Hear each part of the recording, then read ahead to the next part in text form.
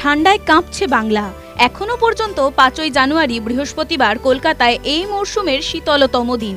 এদিন এক ধাক্কায় বারো ডিগ্রির ঘরে পারদ নেমে এসেছে।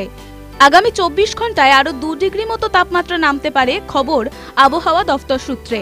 দক্ষিণবঙ্গে সর্বাধিক দু ডিগ্রি তাপমাত্রা নামলেও উত্তরবঙ্গে তিন ডিগ্রি পর্যন্ত পারদ পতন হতে পারে।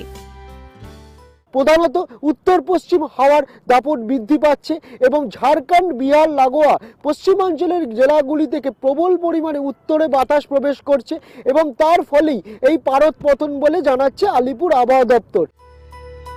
আগামী দুদিন হালকা থেকে মাঝারি কুয়াশাচ্ছন্ন থাকবে আকাশ। রাজ্য জুড়ে শীতের দাপট বাড়লেও বৃষ্টির কোনো সম্ভাবনা নেই।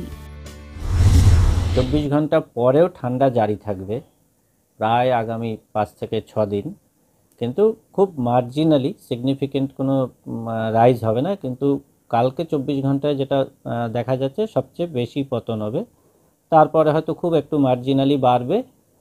কিন্তু ঠান্ডা বজায় থাকবে আগামী মিনিমাম আরও পাঁচ থেকে ছ দিন।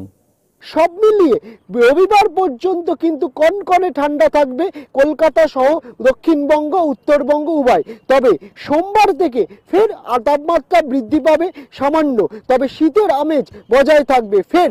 মকর সংক্রান্তিতে আবার পারদ পতনের সম্ভাবনা রয়েছে বলে জানাচ্ছে আলিপুর আবহাওয়া দপ্তর। ক্যামেরায় আলির সঙ্গে অরুণাভ ঘোষ, নিউজ টাইম, কলকাতা।